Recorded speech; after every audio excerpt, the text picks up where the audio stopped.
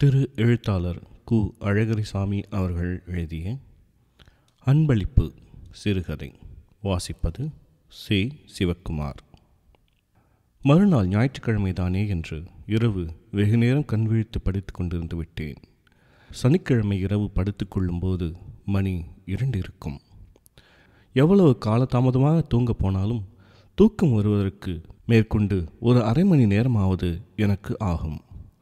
எனவே இரண்டரைக்குத்தான் தூங்க ஆரம்பித்திருப்பேன். சுகமாக தூங்கிக் கொண்டிருக்கும் போது முதுகில் நாலைந்து கைகள் வந்து பலமாக அடிக்க ஆரம்பித்து விட்டன அடிகளால் ஏற்பட்ட வலியை விட அவற்றால் ஏற்பட்ட ஓசை மிக பெரிதாக இருந்தது.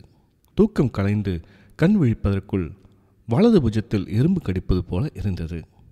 மணி ஏழராவது. எழுந்துக்கிறீங்களா இல்லை பலமாக கிள்ளி விடவா? முகத்தில் ஜலத்தை கொண்டு வந்து தெளிச்சிடுவான். இன்னும் ரெண்டு நிமிஷத்துக்குள்ளே எழணும். இப்படியே பல குரல்கள் பேசிக்கொண்டிருந்தன பேச்சின் நடுவே இரண்டு அல்லது மூன்று பேர் சேர்ந்து சிரிடா சிரி ம் என்று சிரித்தார்கள். கண் விழித்து விட்டேன். யார் அது? ம் வர தூக்கத்தில் வந்து. என்று அதட்டிக்கொண்டே எழுந்து உட்கார்ந்தேன்.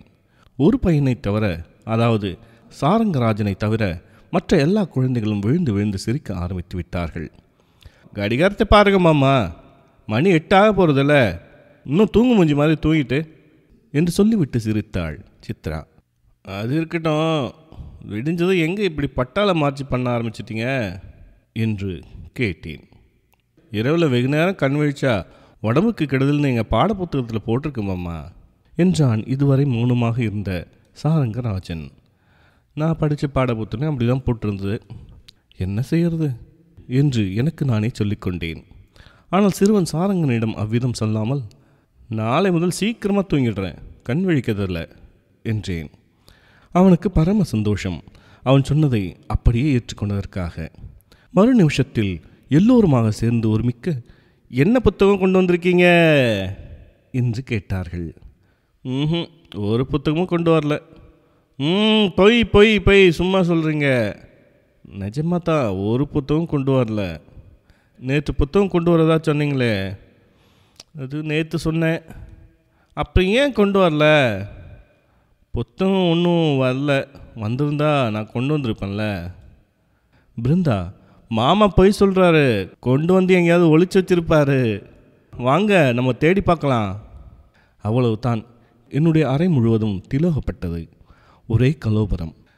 சித்ரா மேஜை திறந்து உள்ளே கிடக்கும் பெரிய காகிதங்களையும் துண்டு காகிதங்களையும் கடிதங்களையும் எடுத்து வெளியே எரிந்தாள் துழாவி துழாவி பார்த்தாள். மேஜையில் புத்தகம் எதுவும் இல்லாது போகவே அதிலிருந்து சாவி குத்தை எடுத்து பெட்டியை திறந்து தேட ஆரம்பித்து விட்டாள். பிருந்தாவும் சுந்தரராஜனும் பீரவை திறந்து புத்தகங்களை எடுத்து கண்டபடி கீழே போட்டார்கள். சின்னஞ்சிறு குழந்தையான கீதா கீழே உட்கார்ந்து இறைந்து கிடக்கும் ஆங்கில புத்தகங்களை அர்த்தமில்லாமல் திறந்து பார்த்து கொண்டிருந்தாள். சித்ரா பெட்டியில் உள்ள சலவை துணிகளை எடுத்து வெளியே போட்டாள். என்னுடைய பழைய டைரிகள்.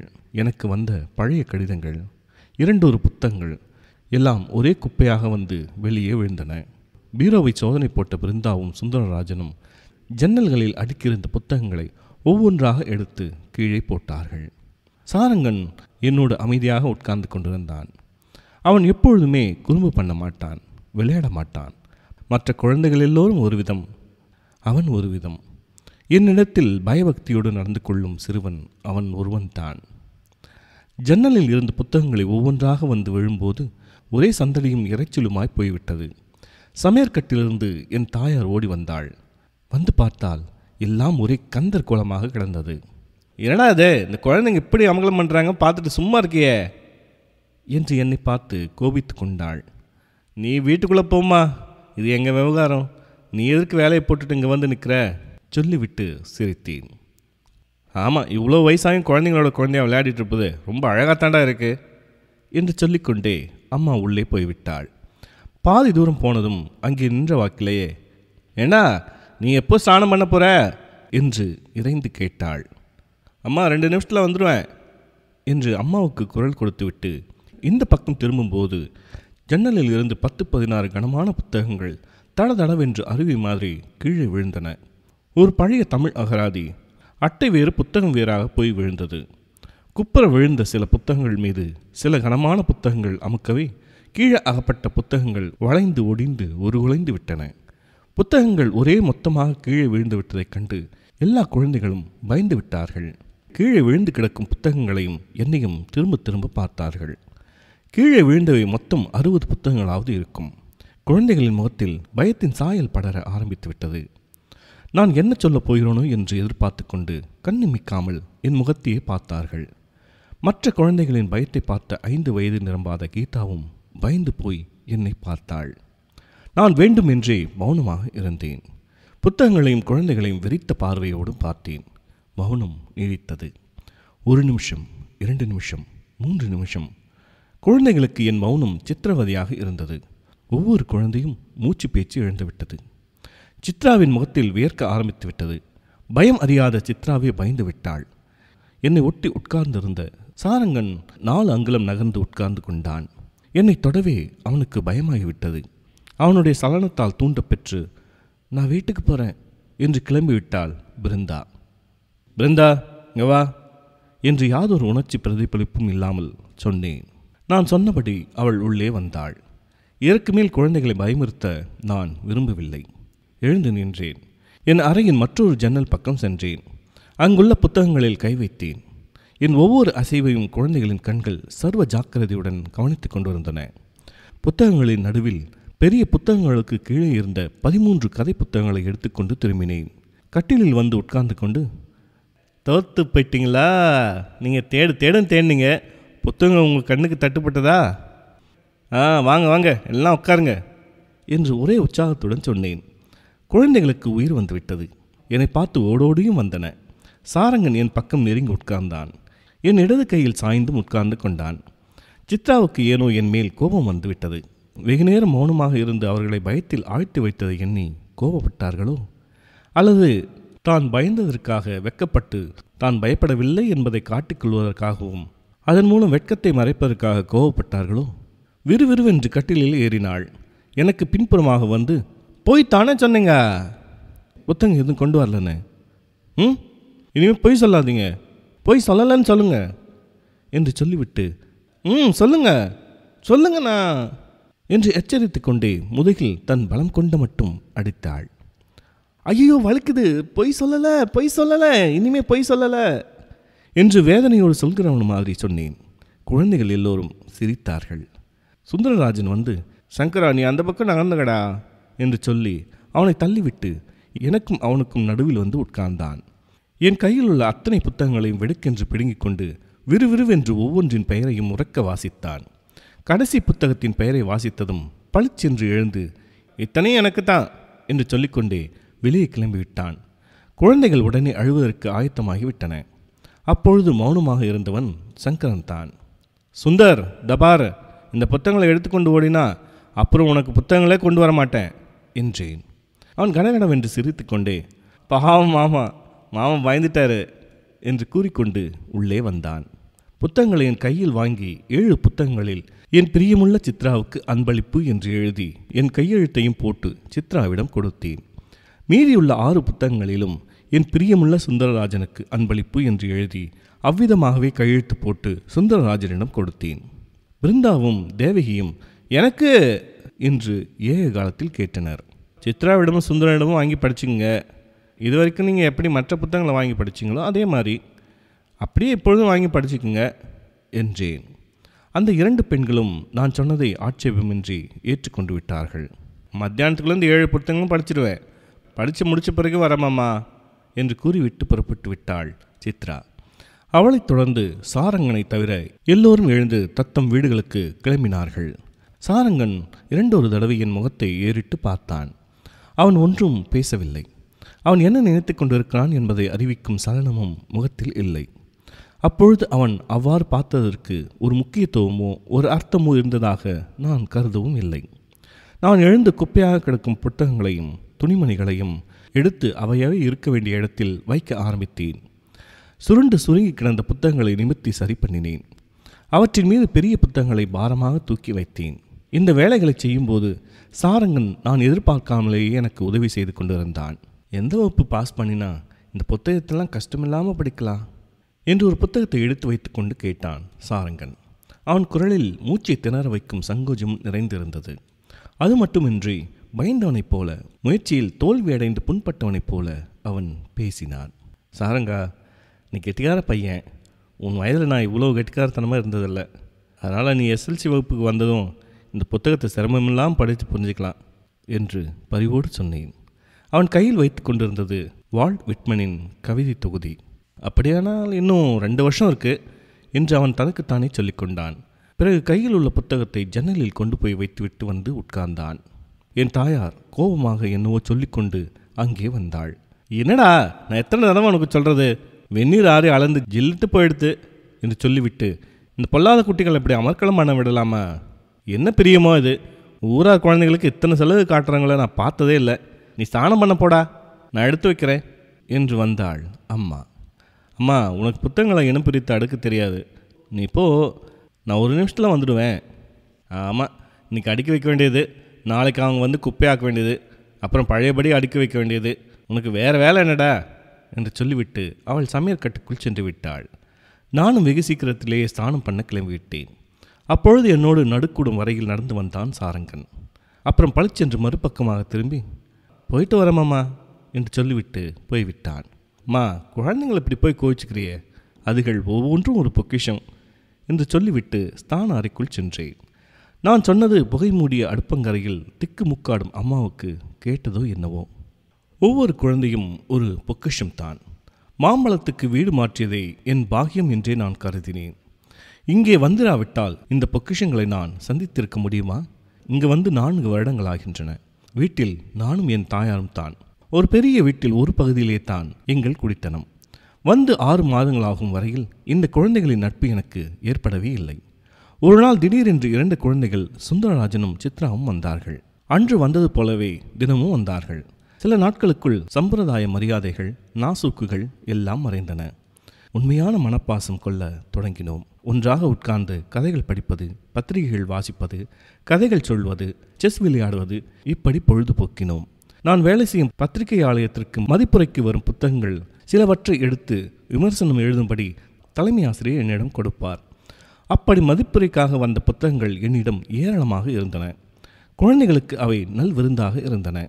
ஒரே ஆவலோடு ஒரு சில தினங்களுக்குள் அத்தனை புத்தகங்களையும் சுந்தரராஜனும் சித்ராவும் படித்து தீர்த்து விட்டார்கள் அவர்களுடைய புத்தக தேவையை என் மதிப்புரை புத்தகங்களை கொண்டு ஈடு செய்ய முடியவில்லை. இதனால் அவ்வப்போது சில குழந்தை புத்தகங்களை விலைக்கு வாங்கி கொண்டு வந்து கொடுப்பேன். அதனால் அவர்கள் நான் தினந்தோறும் காரியாலயம் போகும்போது இன்று ஞாபகமாக புத்தகங்களை கொண்டு வரணும் என்ன? என்று சொல்லி அனுப்புவார்கள். சாயங்காலத்தில் வெறுங்கையோடு வீடு திரும்பினால் ஒரே கலாட்டாத்தான். சுந்தரராஜனும் சித்ராவும் நான் குடியிருக்கும் வீட்டுக்கு பக்கத்து வீட்டு குழந்தைகள் பணக்கார குழந்தைகள். குழந்தை என்று சொன்னாலும் சுந்தரராஜனுக்கு பதிமூன்று வயது. சித்ராவுக்கு ஒன்பது வயது. இந்த இருவரின் புத்திசாலித்தனம் கலை நிறைந்த தோற்றம் எல்லாவற்றையும் விட சீரிய மனப்பாங்கு எல்லாம் சேர்ந்து என்னை வசீகரித்தன. என்னை ஆட்கொண்டு விட்டன. அவர்கள் மேல் நான் வைத்திருந்த அன்பு இம்புட்டம்புட்டு என்றில்லை தினந்தோறும் அவர்களுக்கு புதியதொரு மகிழ்ச்சியை உண்டாக்க வேண்டும் என்றெல்லாம் என் மனம் துடித்து கொண்டிருக்கும்.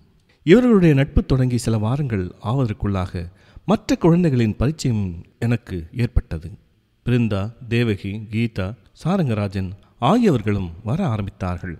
பிருந்தாவும் தேவகியும் சித்ராவுடன் ஒரே வகுப்பில் படிக்கும் சம வயது குழந்தைகள். கீதா தேவகியின் தங்கை. சாரங்கராஜன் சுந்தரராஜனுடைய பள்ளித்தோழன். எல்லோருடைய வீடுகளும் ஒன்றை எடுத்து ஒன்றாக இருந்தன. இவர்களில் சாரங்கனுடைய வீட்டார்தான் வாடகை வீட்டில் குடியிருப்பவர்கள். மற்ற குழந்தைகள் சொந்த வீடு உள்ள பணக்கார குழந்தைகள். எல்லோரிடத்திலும் நான் ஒன்று போலவே அன்பாக இருந்தேன். சுந்தரராஜனும் சித்ராவும் எனக்கு முதலில் பரிச்சயமானவர்கள் என்பதற்காகவோ என்னவோ அவர்களிடத்தில் எனக்கு ஒரு அலாதி பிரியம் இருந்தது. ஆனால் வெளிப்படையான பேச்சிலும் நடவடிக்கையிலும் ஒரு குழந்தைக்கும் மற்றொரு குழந்தைக்கும் நான் வித்தியாசம் காட்டி நடந்து கொள்ளவில்லை. உள்ளன்பிலும் வேற்றுமை காட்டவில்லை. முன்னால் சொன்னது போல ஏதோ ஒரு அலாதி பிரியம் சித்ராவிடமும் அவளது அண்ணனிடமும் ஏற்பட்டிருந்தது. ஆனால் குழந்தைகளோ என்னை ஒரே மாதிரி நேசித்தன. அவர்களுடைய பிரியத்தில் வேற்றுமை இல்லை. ஒவ்வொரு குழந்தையும் தனக்காகவே இந்த உலகத்தில் பிறந்த நண்பன் என்று என்னை நினைத்தது. ஒவ்வொன்றும் ஒரு மகத்தான நம்பிக்கையாக ஒரு பெரிய ஆறுதலாக ஒரு நல்ல வழிகாட்டியாக என்னை கருதியது. எந்த விதத்திலும் தனக்கு சமமான ஜீவன் என்று என்னை கருதியது. குழந்தைகள் என்னை பெரிய மனித பீடத்தில் தூக்கி வைக்காமல் நட்பு முறையில் கைகோர்த்து கொள்ள வந்தார்கள். இவர்கள் என்னோடு விளையாடினார்கள் என்னோடு சண்டை போட்டார்கள் என்னை அடித்தார்கள் என்னை கண்டித்தார்கள் என்னை மன்னித்தார்கள் என்னை நேசித்தார்கள். உலகத்தில் எல்லோரும் குழந்தைகளை கண்டால் பிரியமாக நடந்து கொள்வதும் அல்லது விளையாடுவதுமாக இருக்கிறார்கள். ஆனால் அப்படி நடந்து கொள்பவர்களின் அன்பில் ஒரு விளையாட்டு உணர்ச்சியும் ஒரு நடிப்பும் கலந்திருக்கின்றன. குழந்தையைப் போல பேசி குழந்தையைப் போல ஆடிப்பாடி குழந்தையை விளையாட்டு பொம்மையாக கருதி அதற்கு தக்கவாறு நடந்து கொள்கிறார்கள். ஆனால் அந்த சூதுவாத அறியாத குழந்தைகளோ அப்படி நடிப்பதில்லை. அவர்களுடைய அன்பில் அந்த விளையாட்டு உணர்ச்சி கலக்கவில்லை. அவர்கள் உண்மையிலேயே அன்பு காட்டுகிறார்கள். இந்த உண்மை எனக்கு என்றோ ஏதோ ஒரு சந்தர்ப்பத்தில் மனதில் தைத்தது அன்று முதல் நான் அவர்களை குழந்தைகளாக நடத்தவில்லை. நண்பர்களாக நேசித்தேன். உற்ற துணைவர்களாக மதித்தேன். உள்ளன்பு என்ற அந்தஸ்தில் அவர்களும் நானும் சம உயிர்களாக மாறினோம். மாம்பழத்தில் எனக்கு இவர்கள்தான் நண்பர்கள். குழந்தைகளுடன் இம்மாதிரி பழகுவதும் இம்மாதிரி விளையாடுவதும் அம்மாவுக்கு அவ்வளவாக பிடிக்கவில்லை. ஐம்பது வயது தாயாருக்கு தன் மகனை மனைவி மக்களுடன் குடித்தனம் செய்யவும் தகப்பனாக காணவும் தான் பிடிக்குமே தவிர குழந்தைகளுடன் குழந்தையாக விளையாடிக் கொண்டும் சண்டை போட்டுக்கொண்டும் இருப்பதை காண பிடிக்குமா என்ன? பதிமூன்று புத்தகங்களை எடுத்து கொடுத்த அந்த தினம் அந்த ஞாயிற்றுக்கிழமை கழிந்து இரண்டு வாரங்கள் ஆகியிருக்கும். பிருந்தா ஜுரத்தோடு படுத்து விட்டாள். அவளுடைய பெற்றோர்களை எனக்கு நேரில் தெரியாது. அதனால் அவர்களை போய் பார்த்துவிட்டு வர எனக்கு சங்கோச்சமாக இருந்தது. ஆனால் மற்ற குழந்தைகளிடத்தில் பிருந்தாவின் உடம்பு எப்படி இருக்கிறது என்று தினமும் விசாரித்து கொண்டிருந்தேன். குழந்தைகள் அதற்கு எப்படி பதில் சொல்லும்? ஜுரம் அதிகமாக இருக்கிறதா? குறைந்து இருக்கிறதா? என்று அவர்களுக்கு சொல்லத் தெரியவில்லை. பிருந்தா எப்போது பார்த்தாலும் படுத்துக்கிட்டே இருக்கா? என்று மட்டும் தெரிவித்தார்கள். ஒரு நாள் இரவு எட்டு மணி இருக்கும். வீட்டு முற்றத்தில் ஈசி சேரை போட்டுக்கொண்டு காற்றாட நிலா வெளிச்சத்தில் படுத்து கொண்டிருந்தேன். அப்போது தெரு வழியாக போய்க்கொண்டிருந்த பிருந்தாவின் வீட்டு வேலைக்காரனை அழைத்து பிருந்தாவின் உடம்பு எப்படி இருக்கிறது? ஜுரம் குறைந்திருக்கிறதா? என்று கேட்டேன். இல்லை சார். நாளுக்கு நாள் அதிகமாகிக்கொண்டே போகுது. எதுவும் சாப்பிட்றதும் இல்லை. இந்த நாலு நாளில் குழந்தை துரும்பாக போயிட்டுது. தூக்கத்தில் உங்களை நினச்சி தான் என்னென்னமோ புலம்பிட்டுருக்கா என்றான் வேலைக்காரன். என்னை நினைத்து புலம்புகிறாளா? என்று ஆச்சரியத்துடன் கேட்டேன். ஆமாம் சார் நேற்று ராத்திரி கூட மாமா புத்தகம் மாமா புத்தகம் என்னென்னவோ சொல்லி கொண்டிருந்தா என்றான். எனக்கு தூக்கி வாரி போட்டது. இந்த குழந்தையை போய் பார்க்காமல் இருந்ததற்காக மிகவும் வருத்தப்பட்டேன். என் சங்கோஜத்தை மூட்டை கட்டி வைத்துவிட்டு மறுநாள் காலையில் அவசியம் போய் பார்த்துவிட்டு வர வேண்டும் என்று தீர்மானம் செய்து கொண்டேன். ம் நீ போய் வா என்று வேலைக்காரனை அனுப்பிவிட்டு தனியாக படுத்து என்னென்னவோ யோசித்துக் கொண்டிருந்தேன். சிறிது நேரத்தில் என்னால் பொறுத்து கொண்டிருக்க முடியாது என்ற நிலைமை வந்துவிட்டது. அவ்வளவுதான். உடனே எழுந்து வீட்டுக்குள் போய் சட்டையை மாட்டிக்கொண்டு விறுவிறுவென்று பிருந்தாவின் வீட்டுக்கு சென்றேன். அவளுடைய பெற்றோர்கள் என்னை உள்ளே வரும்படி சொன்னார்கள். பிருந்தா படுத்து கொண்டிருந்தாள். அவளுக்கு பக்கத்தில் கிடந்த நாற்காலியில் உட்கார்ந்து கொண்டேன். அவள் கண்களை வெறுமனை மூடிக்கொண்டிருந்தாள். பிருந்தா பிருந்தா என்றேன் கண் விழித்து என்னை பார்த்தாள். அப்போது அவளுடைய முகத்தில் யாதொரு மாறுதலும் ஏற்படவில்லை. அப்புறம் ஒரு முறை கண்களை மூடி திறந்து என்னை நன்றாக ஒத்து பார்த்தாள். ஒரு நிமிஷம் இப்படியே பார்த்துவிட்டு திடீரென்று மாமா! என்று உறக்க கூவினாள். அப்படியே எழுந்து உட்கார்ந்து விட்டாள். பிருந்தா படுத்துக்கோமா படுத்துக்கோ என்று சொன்னேன். அவள் கேட்கவில்லை. எழுந்து என் பக்கம் வந்தாள். என்னை கட்டிக்கொண்டு என் தோள் மீது முகத்தை புதைத்துக் கொண்டாள். அவளுடைய உடம்பு அனலாக சுட்டது. அவளை தட்டி கொடுத்து படுக்கையில் கொண்டு போய் படுக்க வைத்தேன். என் நேரமும் உங்கள் நினப்பு தான் என்றாள் பிருந்தாவின் தாயார். என்னால் ஒன்றும் பேச முடியவில்லை. வாய் அடைத்து விட்டது மௌனமாக உட்கார்ந்து கொண்டிருந்தேன். சுமார் ஒரு மணி நேரம் அவள் பக்கத்தில் உட்கார்ந்து இருந்துவிட்டு வீட்டுக்கு வருவதாக புறப்பட்டு விட்டேன். போக வேண்டாம். எங்கே இருங்க மாமா என்று பிடிவாதம் பிடித்தாள் பிருந்தா. அப்புறம் அவளை பலவிதமாக சமாதானப்படுத்தி நாளை காலையில் வருகிறேன் என்று சொல்லிவிட்டு வந்தேன். அவ்விதமே மறுநாள் காலையில் சென்றேன். வெகு நேரம் அங்கேயே இருந்தேன். அவள் ஜுரத்தினால் கஷ்டப்படுகிறவள் மாதிரியே இல்லை. என்னோடு பேசிக்கொண்டு இருந்தாள். ஆஃபீஸ்க்கு நேரமாகிவிட்டதென்று அவளிடம் கூறிவிட்டு வெளியே எழுந்து வந்தேன். தெருவோடு வந்து கொண்டிருக்கும்போது சாரங்கன் தன் வீட்டு ஜன்னல் வழியாக என்னை பார்த்து கொண்டிருந்தான். அங்கிருந்த வாக்கிலேயே மாமா! என்று கூப்பிட்டான். நான் திரும்பி பார்ப்பதற்குள்ளாக தெருவுக்கு ஓடி வந்து விட்டான். மாமா எங்கள் வீட்டுக்கு வாங்க மாமா என்று கையை பிடித்து இழுத்தான். உங்கள் வீட்டுக்கு எதுக்கு? பிருந்தா வீட்டுக்கு மட்டும் போகிறீங்க பிருந்தாவுக்கு ஜுரம். அதனால் போய் பார்த்துட்டு வந்தேன். எங்கள் வீட்டுக்கும் வரணும். ஆமாம் இன்னொரு நாளைக்கு வர்றேன். கை விடு. எனக்கு ஆஃபீஸ்க்கு நேரமாச்சுல்ல. நான் சொன்னபடியே கையை விட்டு விட்டான். தன் இடது கையில் வைத்திருந்த இரண்டு நெல்லிக்காய்களில் ஒன்றை எடுத்து இந்தாருங்க மாமா என்று எனக்கு கொடுத்தான். நான் சிரித்து விட்டேன். வேண்டாம் வேண்டாம் நீயே வச்சுக்கோ என்றேன். அவனோ கட்டாயப்படுத்தி என்னிடம் கொடுத்தான். நான் என்ன சொல்லியும் கேட்கவில்லை. அந்த நெல்லிக்காயை வாங்கிக் கொள்ளாவிட்டால் அவன் என் சிநேகிதத்தையே உதறி தள்ளிவிடுவான் போல் இருந்தது. அதனால் ஒன்றும் சொல்லாமல் வாங்கி கொண்டேன். அவனுக்கு அப்போது சொல்ல முடியாத ஆனந்தம். நான் புறப்படும்போது எப்போ எங்கள் வீட்டுக்கு வருவீங்க? என்று கேட்டுக்கொண்டே என்னை தொடர்ந்து நடந்து வந்தான். "ம், அடுத்த ஞாயிற்றுக்கிழமை என்று பேச்சுக்கு சொல்லி வைத்தேன். கட்டாயம் வரணும். ம்? ம் சரி. அவன் வீட்டுக்கு போய்விட்டான். அதற்கு பிறகுதான் பிருந்தாவின் வீட்டுக்கு போகும்போதெல்லாம் ஞாயிற்றுக்கிழமை வர வேண்டும் கட்டாயம் வர வேண்டும் எனக்கு ஞாபகம் முட்டிக்கொண்டே இருந்தான். பிருந்தாவுக்கு மூன்று நாட்களில் ஜுரம் குணமாகிவிட்டது ஓர் ஆச்சரியமாகவே இருந்தது. நான் தினமும் அவள் வீட்டுக்கு போய் வந்தது தான் அவளுக்கு மருந்தாக இருந்தது என்று அவளுடைய தகப்பனார் என்னிடம் கூறினார். நான் போய் வந்ததன் காரணமாக ஒரு குழந்தையின் நோய் குணமாகிவிட்டது என்று அவர் சொன்னதை கேட்க எனக்கு எப்படியோ இருந்தது. எப்படியாவது உடம்பு குணமாயிற்றே அது போதும் என்றேன். அப்புறம் அவள் சொன்னது ஒரு வேளை உண்மையாக இருக்கலாமோ என்று கூட எனக்கு தோன்றியது. சனிக்கிழமை அன்று குழந்தைகளுக்கு விடுமுறை. பிருந்தா உள்பட எல்லா குழந்தைகளும் என் வீட்டுக்கு வந்து விட்டார்கள். புது வருஷம் பிறந்து இரண்டு மூன்று தினங்களே ஆகியிருந்தன நான் வாக்களித்தபடி சுந்தரராஜனுக்கும் சித்ராவுக்கும் இரண்டு டைரிகள் வாங்கி கொண்டு வந்திருந்தேன். அவற்றில் வழக்கம் போல அன்பளிப்பு என்று எழுதி அந்த இருவர் கையிலும் கொடுத்தேன். மற்ற குழந்தைகள் எனக்கு டைரி வேண்டும் என்று என்னிடம் கேட்கவே இல்லை. நான் எத்தனை புத்தகங்கள் கொண்டு வந்தாலும் என்ன பரிசு கொடுத்தாலும் சுந்தரராஜனுக்கும் சித்ராவுக்கும் தான் கொடுப்பேன் என்று ஒவ்வொரு குழந்தைக்கும் தெரியும். அவர்கள் இருவரும் தான் இப்படிப்பட்ட அன்பளிப்புக்கு தகுதியானவர்கள். அவர்களுக்கு கொடுப்பது தான் நியாயம் என்று எல்லா குழந்தைகளும் ஒப்புக்கொண்ட பாவனையில் பேசாமல் இருந்தன. முதல் நட்பு என்ற காரணத்தினால் தானோ என்னவோ ஒரு அலாதி பிரியத்துடன் அவர்களுக்கு மட்டும் நான் புத்தகங்களை கொடுப்பது வழக்கமாகிவிட்டது. இந்த நெடுநாளைய வழக்கம் மற்ற குழந்தைகளுக்கு பழகியும் போய்விட்டது. டைரிகளை வாங்கிக் கொண்டு அந்த இருவரும் சாப்பிட போய்விட்டார்கள். அவர்கள் போன பிறகு மற்றவர்களும் புறப்பட்டார்கள். ஆனால் அன்று சாரங்கன் மட்டும் போகவே இல்லை. எல்லோரும் போன பிறகும் கூட அவன் உட்கார்ந்து கொண்டு தான் இருந்தான். என்னிடத்தில் அந்தரங்கமாக மாமா நாளைக்கு எங்கள் வீட்டுக்கு வரீங்களா? நாளைக்கு தான் ஞாயிற்றுக்கிழமை என்றான். சரி சரங்கா எத்தனை தடவை சொல்கிறது ஒரு தடவை சொன்னால் ஞாபகம் இருக்காதா? என்றேன். வால்ட் மிட்மனின் கவிதை தொகுதியை எடுத்தான். மாமா இந்த புத்தகத்தை எனக்கு தரீங்களா? என்று கெஞ்சலாக கேட்டான். எனக்கு அது வேடிக்கையாக இருந்தது. சிரித்துக்கொண்டே இந்த புத்தகம் உனக்கு எதுக்கு? இது உனக்கு இப்போது புரியாது. நான் அன்றைக்கே சொல்லலையா? நீ எஸ்எல்சி வகுப்பு வந்ததும் கேள் தர என்றேன் நான். நான் சொன்னதை அவன் கேட்கவில்லை. பதிமூன்று வயது பையன் ஐந்து வயது குழந்தையைப் போல முரண்டு பண்ணிக்கொண்டு அந்த புத்தகத்தை அவசியம் கொடுத்தாக வேண்டும் என்று பிடிவாதம் பிடித்தான். சாரங்கா உனக்கு புரியாது. சொன்னா கேளு என்று சொன்னேன். அப்புறம் அவன் கையிலிருந்து புத்தகத்தை வாங்கி ஜன்னலில் கொண்டு போய் வைத்தேன். சாரங்கனின் முகம் ஏமாற்றத்தினால் வெளிரி போய்விட்டது. வறண்ட பார்வையோடு என்னை பார்த்தான்.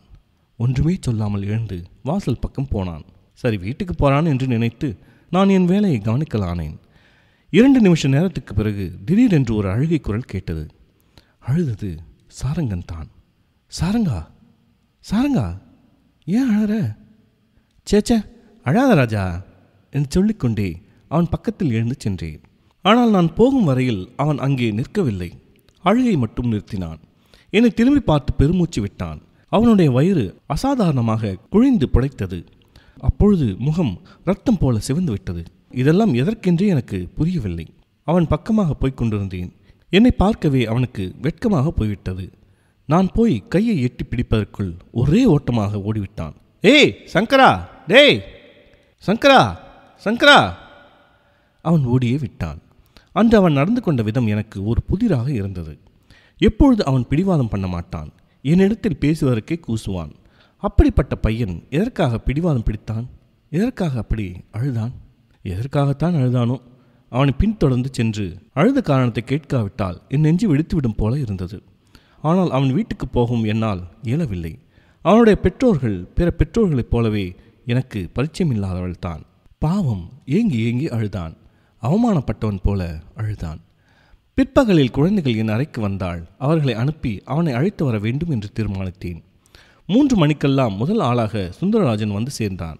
அவனை சாரங்கனிடம் அனுப்பி வைத்தேன். சாரங்கன் தூங்கிக் கொண்டிருப்பதாக சுந்தரராஜன் என்னிடம் வந்து தெரிவித்தான்.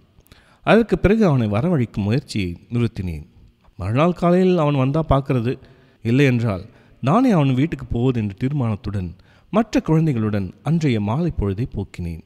இரவில் சாப்பிட்டுவிட்டு படுத்துக்கொண்ட பிறகுதான் என் மனம் மிக மிக கஷ்டப்பட்டது. பக்கத்தில் யாரும் இல்லாத அந்த தனிமையில் மனத்துயரம் பெரிதாகிக் கொண்டே இருந்தது. உள்ளத்தில் எத்தனையோ துயரம் படிந்த சிந்தனைகள் ஏன் அழுதான்? நான் அவனை ஒன்றும் சொல்லவில்லையே. எல்லா குழந்தைகளும் போலவே அவனை என் கண்ணுக்கு கண்ணாக வைத்துக் கொண்டிருக்கிறேன். வால்ட் மெட்டன் கவிதை தொகுதியை கேட்டான். அது அவனுக்கு புரியாது என்று வாங்கி வைத்து விட்டேன் எதற்காகவா அவன் அழுதிருப்பான்? அவன் விவரம் தெரிந்த பையன். எப்போதும் நான் சொல்வதை மறுத்தளிக்காமல் ஏற்றுக்கொள்பவன். அப்படிப்பட்ட பையன் புத்தகத்தை நான் திரும்பி வாங்கி கொண்டதற்காக இப்படி அழுதிருக்க முடியாது. நான் திரும்பி வாங்கி கொண்ட காரியம் விம்மி விம்மி அழத்தக்க மனவேதனை தர நியாயமில்லை. சாரங்கா எதற்காக அழுதாய்? எதற்காக அழுதாயடா நீ? ஞாயிற்றுக்கிழமை. நேற்று பிற்பகலில் அவன் வராமல் இருந்து விட்டால் இன்றும் வரமாட்டான் என்றே எண்ணியிருந்தேன். சப்தரிஷி மண்டலம் போல எங்கள் கூட்டத்தில் இருந்த ஒரு நட்சத்திரம் மறைந்து நிற்பதை மற்ற குழந்தைகள் பொருட்படுத்தவில்லை. அத்துடன் அவர்கள் கவலைப்படுவதற்கும் இங்கே என்ன இருக்கிறது? ஒரு நாள் பிற்பகலில் அவன் வராமல் இருந்தது அவர்களுக்கு ஒரு பிரிவாக தோன்ற நியாயமில்லை. எனக்கு மற்ற சமயங்களில் இது கவனத்தை கவரத்தக்க விஷயமாக இல்லாமல் சகஜமான காரியமாக இருந்திருக்கும். ஆனால் அவன் நேற்று எந்த நிலையில் என்னை பிரிந்து சென்றான்? எந்த நிலையில் என்னை விட்டுவிட்டு சென்றான் என்ற விவரங்கள் எனக்கல்லவா தெரியும்? காலை பத்து மணி இருக்கும். ஞாயிற்றுக்கிழமை ஆனதால் சாப்பாட்டை பகல் ஒரு மணிக்கு ஒத்தி போட்டுவிட்டு காலையில் பலகாரம் பண்ணி நானும் என் தாயாரும் சாப்பிட்டோம். அப்புறம் நான் என் அறைக்கு வந்து ஏதாவது படிக்கலாம் என்று உட்கார்ந்தேன். மனம் என்னவோ அந்த வால்ட் மிட்டன் கவிதை தொகுப்பைத்தான் படிக்க விரும்பியது. அதை கையில் எடுத்து விரித்ததும் என் கண்களுக்கு கவிதா வாசகங்கள் தென்படவில்லை. சாரகன் தான் காட்சியளித்தான். அவனுடைய கண்ணீரும் ஏக்கமும் தான் காட்சியளித்தன. இது சோதனையாக இருக்கிறதே. அவனாவது இங்கு வரக்கூடாதா? அல்லது வேறு குழந்தைகளாவது வரக்கூடாதா? என்று மறுங்கிக் கொண்டிருந்தேன். சிறிது நேரத்திற்கு பிறகு பிருந்தா வந்தாள். பாக்கிய தேவதை என ஒரு தெய்வ மகள் உண்மையிலேயே இருந்து ஒரு தரித்திரனின் வீட்டில் அடியெடுத்து வைத்தது போல இருந்தது பிருந்தாவின் வரவு. வா பிருந்தா. பிருந்தா என்ற பெயரை மாற்றி பிரியதர்ஷினி என்ற பெயர் வைத்தால் உனக்கு பொருத்தமாக இருக்கும் பிருந்தா என்றேன். என் பரவசம் அவள் உள்ளத்தை தொடவில்லை. என் சொற்கள் அவள் செவிக்கு எட்டவில்லை. சுந்தரராஜனும் சித்ராவும் சினிமாவுக்கு போய்விட்டார்கள் என்று காரண காரியம் இல்லாமல் சொன்னாள் பிருந்தா. சாரங்கன்? என்று அவளோடு கேட்டேன். நான் பார்க்கலையே என்று சொல்லிவிட்டாள். மேற்கொண்டு நான் சாரனை பற்றி விசாரிக்கத் தொடங்கும்போது பிருந்தாவின் வீட்டு வேலைக்காரன் வந்து அம்மா கூப்பிடுறாங்க என்று சொல்லி அவளை அழைத்தான். பிருந்தா உடனே ம் போய் வரேன் என்று சொல்லி கிளம்பிவிட்டாள். அவள் போன பிறகு பழையபடிக்கும் அந்த கவிதை தொகையை எடுத்து விரித்தேன். அப்போது பிருந்தா வெகு வேகமாக ஓடி வந்தாள். வந்து ம் சாரங்க வரான் சொல்லிவிட்டு அதே கணத்திலேயே தன் வீட்டை நோக்கி ஓடிவிட்டாள். என் இதயம் படபடவென்று அழைத்துக் கொண்டது. அதிவேகமாக வால்ட் விட்மனின் புத்தகத்தை மறைத்து வைத்து விட்டேன். அதை பார்த்தால் சாரங்கனுக்கு பழையபடிக்கும் அழுக வந்துடுமோ என்று எனக்கு பயம். சாரங்கன் வந்துவிட்டான் சாரங்கா? ம். ஏன் நீ இவ்வளோ நேரம் வரையிலும் வரவே இல்லை? நேற்றும் அல்ல. அவன் அதற்கு பதில் சொல்லவில்லை. அவன் முகத்தில் துயரமோ வேறு விதமான ஆழ்ந்த உணர்ச்சிகளோ பிரதிபலிக்கவில்லை. ஒரே சந்தோஷமாகத்தான் இருந்தான். இது மகிழ்ச்சிக்குரிய மாறுதல் தான் என்று நான் நினைத்து கொண்டேன். எங்கள் வீட்டுக்கு போகுமா உங்கள் வீட்டுக்கா? ஆமாம் நீங்கள் வரதா அன்றைக்கே சொன்னீங்கல்ல? சும்மா வேடிக்கை தான் சொன்னேன் சாரங்க. உங்கள் வீட்டுக்கு எதற்கு? எதற்கோ நீங்கள் வாங்க. என்று இரண்டு கைகளாலும் என் கையை பிடித்து இழுத்தான். அவனுடைய வேண்டுகோள் எனக்கு ஒரு பிரச்சனையாக மாறிவிட்டது. அன்று பிருந்தாவின் வீட்டிலிருந்து வரும்போது அவனுடைய கட்டாயத்தை பார்த்து ஞாயிற்றுக்கிழமை வருகிறேன் என்று சொல்லி வைத்தேன். அந்த விஷயத்தை அவன் இவ்வளவு தூரம் வற்புறுத்துவான் என்று தெரிந்திருந்தால் அப்படி சொல்லியிருக்கவே மாட்டேன். இந்த சிறுவனின் வேண்டுகோளுக்காக வேற்றார் வீட்டுக்கு போவது எப்படி? போவதற்கு காரணமும் வேண்டுமே. பிருந்தா வீட்டுக்கு போனதற்காவது அவளுடைய தேக சௌகியம் காரணமாக இருந்தது. இங்கே போவது எதற்காக? இவருடைய அப்பாவை வீதியிலும் பஸ் ஸ்டாண்டிலும் ஆயிரம் தடவை பார்த்திருக்கிறேன். ஒரு தடவை கூட நாங்கள் பேசிக்கொண்டதில்லை. ஒருவருக்கொருவர் அறிமுகமானவர்கள் என்று எவ்வித சைகை ஜாடகையின் மூலமாக கூட காட்டிக்கொண்டதில்லை. அப்படி இருக்க அங்கு நான் எப்படி போவது? சாரங்கன் மிகவும் அதிகமாக வற்புறுத்த தொடங்கினான். அவசரப்படவும் ஆரம்பித்தான். எனக்கு அது ஒரு தொந்தரவாகவே ஆகிவிட்டது. இத்தனை நாளும் இவன் வாய்மூடி மௌனியமாக இருந்தது போதும் இவன் பாடாய் படுத்துவதும் போதும் என்று சலித்து கொண்டேன். வாங்க மாமா வாங்க! சொல்லிட்டு வரமாட்டேங்கிறீங்களே? என்று கெஞ்சினான். சாரங்கா நீ சிரிப்பில்லை. உன் பேச்சை கேட்டுக்கொண்டு நான் வருவது எப்படி? இந்த நாசுக்கெல்லாம் உனக்கு புரியாது. என்னை விட்டுடு என்று பொறுமை எழுந்து சொன்னேன்.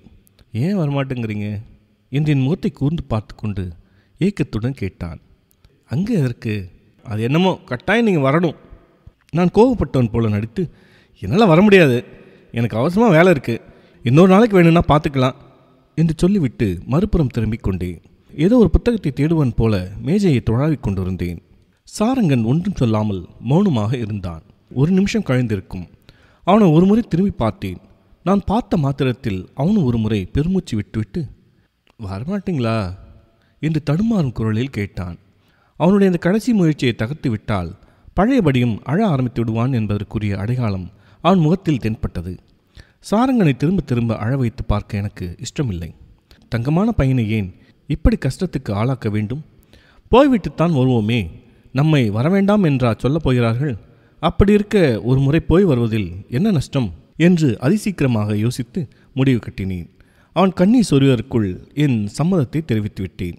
சாரங்கா வா உன் வீட்டுக்கு போகலாம் இருவரும் கை கோர்த்து கொண்டே சென்றோம். அவன் வீட்டுக்கு முன்னால் போனதும் என் கையை விட்டுவிட்டு வீட்டுக்குள்ளே வேகமாக ஓடினான். அப்புறம் வெளியில் வந்து வாசல் பக்கத்தில் உள்ள அறையை திறந்து ம் வாங்க வாங்க என்று படபடப்பாக இறைத்து சொன்னான். அவனுடைய தயக்கத்தையும் என்னுடைய சங்கோஜத்தையும் அளவிட்டு சொல்ல முடியாது. வேறு வழியில்லாமல் அந்த அறைக்குள் சென்றேன். அறையின் சூழ்நிலையை கொண்டே சாரங்கனின் பெற்றோர்கள் ஏழைகள் என்று எளிதில் தீர்மானிக்க முடிந்தது. நாற்காலில் உட்கார்ந்து கொண்டு பக்கத்தில் கிடந்த அவனுடைய சரித்திர புத்தகத்தை எடுத்து புரட்டி கொண்டிருந்தேன். சாரங்கன் வீட்டுக்குள்ளே ஓடிவிட்டான். அப்போது வெளியில் இருந்து வந்த அவனுடைய தகப்பனார் அறைக்குள் எட்டி பார்த்தார். என்னை பார்த்து வாருங்க என்று சொல்லிவிட்டு உள்ளே போய்விட்டார். என்ன விஷயம்? என்று என்னை அவர் விசாரிக்காமல் விட்டது. எனக்கு ராஜ மரியாதை செய்தது போல இருந்தது. சாரங்கன் திரும்பி வரும்போது ஒரு தட்டில் உப்மாவும் ஒரு டம்ளரில் காஃபியுமாக வந்து சேர்ந்தான். நான் திடுக்கிட்டு விட்டேன். என் சுவாசம் அப்படியே நின்று விட்டது ஐயா இதெல்லாம் எதற்கு? நான் இப்போது தானே சாப்பிட்டேன். சந்தோஷ படபடப்பில் ஒன்றுமே சொல்லாமல் வந்து அவன் என் வலது கையை பிடித்து இழுத்து உப்மா தட்டில் கொண்டு போய் வைத்தான். சாரங்கன் ரொம்பவும் சிறுப்பிள்ளையாக இருக்கிறான். இனிமேல் இவனிடம் கொஞ்சம் கண்டிப்பாகத்தான் நடந்து கொள்ள வேண்டும். இன்று மட்டும் ஏதோ கசப்பு மருந்தை சாப்பிடுவோம். வேறு வழி இல்லை என்று எண்ணிக்கொண்டே சாப்பிட ஆரம்பித்தேன். சிறு பையன் பேச்சை கேட்டு விருந்தாட வந்த என்னை பற்றி அவனுடைய பெற்றோர்கள் என்ன நினைப்பார்களோ என்ற பயம் ஒவ்வொரு நிமிஷமும் எனக்கு அதிர்ச்சி கொடுத்த வண்ணமாக இருந்தது. ஒரு வழியாக சாப்பிட்டு முடிந்தது. தட்டையும் டம்ளரையும் உள்ளே கொண்டு போய் வைக்கப் போனான் சாரங்கன். இந்த பையனுக்கு இயற்கையின் மேல் இவ்வளவு அன்பு? இவன் அன்பு என்னை திணற அடிக்கிறதே. இது தாங்க முடியாத அன்பு. தாங்க முடியாத பேதமை. இரண்டும் சேர்ந்து என்னை குரங்காட்டம் ஆட்டுகிறது. ஆனால் இவனை கோபிக்கக்கூடாது இவன் இப்போது எனக்கு கொடுக்கும் தொந்தரவே இவனுடைய அன்பே அளந்து காட்டுகிறது. ஏதோ ஒரு நாள் இவன் கஷ்டப்படுத்துவதனாலாவது இவன் திருப்தி அடையட்டும். என்னுடைய முயற்சி எதுவும் இல்லாமல் என்னால் மட்டுமே ஒரு உயர் சந்தோஷமும் திருப்தியும் கொள்ள முடிகிறது என்றால் அதை எந்த சமயத்திலும் தடுக்கக்கூடாது தடுக்க முயல்வது அமானுஷிகம் என்று எண்ணி தேற்றிக்கொண்டேன். சாரங்கன் வெளியே வந்தான். மேசையை திறந்து ஒரு பவுண்டன் பேனாவை எடுத்தான். என் முகத்துக்கு எதிரில் நிற்காமல் என் முதுகுக்கு புறமாக வந்து நின்று கொண்டான். அங்கே நின்ற வாக்கிலேயே நான் கையில் வைத்திருந்த சரித்திர புத்தகத்தை மெதுவாக பிடித்து இழுத்து தூரத்தில் வைத்தான். தூங்கும் குழந்தையின் கையில் இருக்கும் கிளுகிழுப்பை எவ்வளவு ஜாக்கிரதையாக தனியே எடுத்து அப்புறப்படுத்துகிறோமோ அதுபோல அதை அப்புறப்படுத்தினான். பிறகு அவன் வலது கையால் தன் கால் சட்டையின் பையில் கையை விட்டு எதையை எடுப்பது போல் எனக்கு ஜாடையாக தெரிந்தது. அது என் முன்பாக மேஜை மேல் வைத்தான். அது ஒரு டைரி. நான் சுந்தரராஜனுக்கும் சித்ராவுக்கும் அன்பளிப்பாக கொடுத்த டைரிகளைப் போன்ற ஒரு டைரி. அதே கம்பெனியில் செய்தது. அதே நிறமுடையது அப்புறம் பேனாவை என் கையில் கொடுத்து எழுதுங்கள் என்றான். எனக்கு ஒன்றுமே புரியவில்லை. என்ன எழுத? என்று கேட்டேன். என் பிரியமுள்ள சாரங்கனுக்கு அன்பளிப்பு என்று எழுதுங்கள். முற்றும். திரு எழுத்தாளர் கு. அழகிரிசாமி அவர்கள் எழுதிய அன்பளிப்பு சிறுகதை வாசித்தது சே. சிவக்குமார். நன்றி. வணக்கம்.